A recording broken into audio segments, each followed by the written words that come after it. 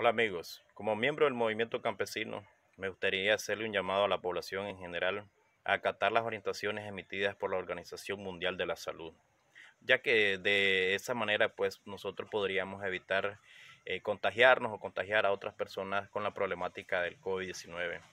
Eh, lavarnos las manos constantemente con agua y jabón durante al menos 30 segundos, no importa el tipo de jabón que sea, eh, utilizar guantes limpiar siempre las superficies con alcohol gel.